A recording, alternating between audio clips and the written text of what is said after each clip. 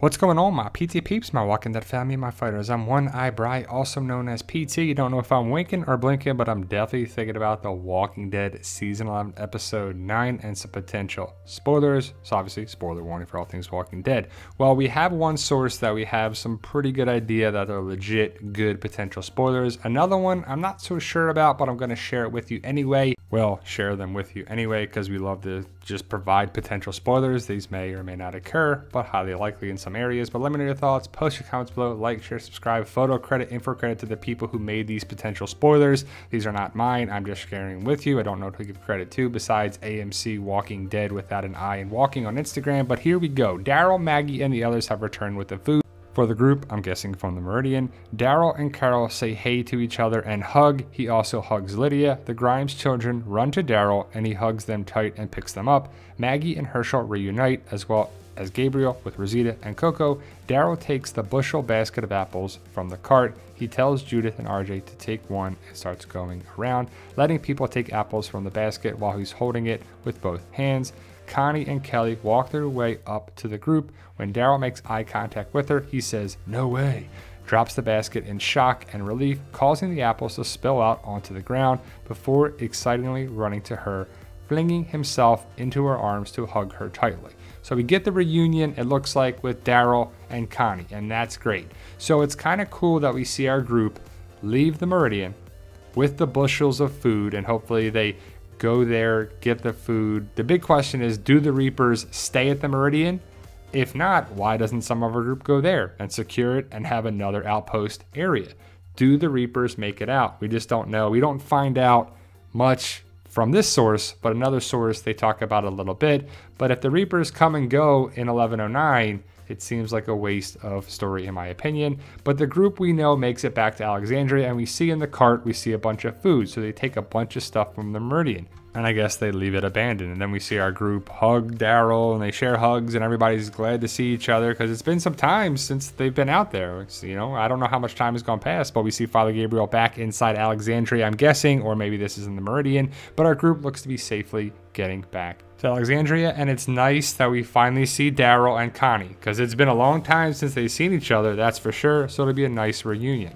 And the spoilers continue. Daryl and Connie are shown to be very happy to see one another. After they hug, Connie kind of pushes his chest playfully and affectionately as the camera pans to Carol, who is looking at them together and smiling. When they separate, Daryl is smiling happily and signs that he's happy to see her, and she smiles and signs, You too. Daryl hugs Kelly and Dog tries to eat one of the apples that fell on the ground. Daryl signs and says to Connie, I have so many questions for you, and she signs for me, jokingly, and he touches her shoulder and says, Yeah. So, do you think we're going to get a Daryl and Connie romance? Or is it just something that we're not going to get? I know a lot of people have hashtag Donnie for Daryl and Connie getting together. Some people want Daryl and Carol. But if we know we're getting a Daryl and Carol spinoff, if that's still the plan, what does this mean for Daryl and Connie? Does Connie die this season? Because if there's a relationship, why would Daryl just leave Connie? Does Connie stay at the Commonwealth? And, you know, some people are going to stay at the Commonwealth, some people are going to stay at Alexandria.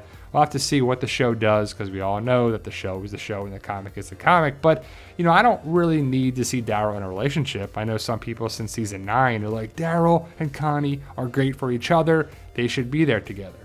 But I don't know if Daryl's ever going to be in a relationship with somebody. We know that Daryl has learned sign language since season 10, episode 1, so he could be pretty good at it by now. There's a lot of time in the zombie apocalypse. It remains to be seen what's going to happen with Daryl and Carol. They're happy together, they're not. They're pissed at each other, they're not. You know, it just is just a relationship of two friends for a long time. I think it's platonic and they care about each other, even though some people want them to be together. I just don't see that happening unless it's the very, very end of the Walking Dead universe where they kiss each other, the end. Now, here are the other spoilers. I don't know if they're correct. It just seems like they picked up things from the trailer and they just made up spoilers. So I don't know the source here, but Maggie and the rest escape the fireworks through the horde, dipping into the woods.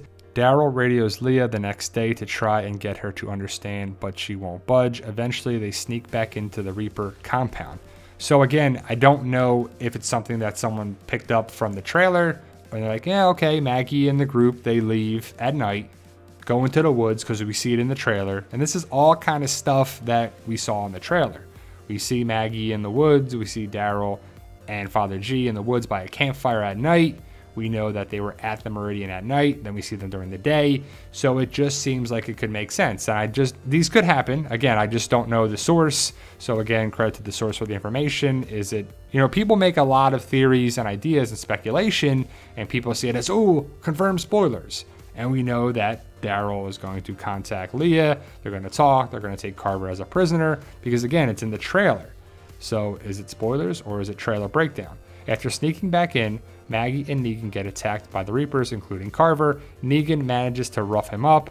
Daryl also gets attacked and has an intense fight. Daryl decides to bring Carver as a hostage to the Meridian to reason with Leah. She still won't listen. So, again, trailer breakdown could happen in the show, but we know that Carver is going to be taken prisoner. We know that Carver and Negan are going to fight in the hallway. In the trailer, we see this. Negan is going to hit him in the stomach with, I guess, the crowbar or a pipe. I can't make it out, but either way, Negan beats up Carver, and uh, we know that Negan is more important than Carver on the show, so you know it's got to happen. Maggie finds Alden dead hanging at the Meridian. So a lot of people saw this and they're like, there you go, Alden's dead, confirmed.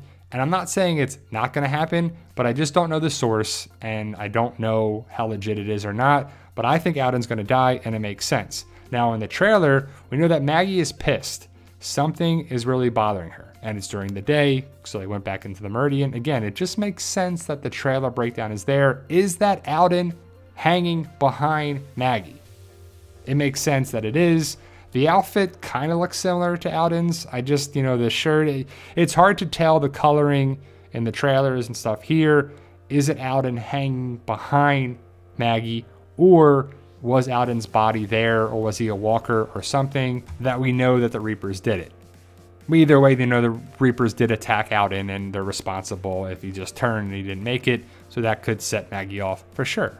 And here's the last potential spoiler. After Maggie finds Alden dead, she then kills the rest of the Reapers that are with Leah, including Carver or Carnver, with his own axe. They load up crates, fruits, and veggies, as well as other food supplies before they leave, which connects with the other spoilers that our group takes the supplies back to Alexandria. But again, is that Alden hanging upside down behind Maggie, or is Alden's body somewhere else? I believe it's the kama that uh, Elijah's weapon is. That's not actually Carver's axe, but I could be wrong.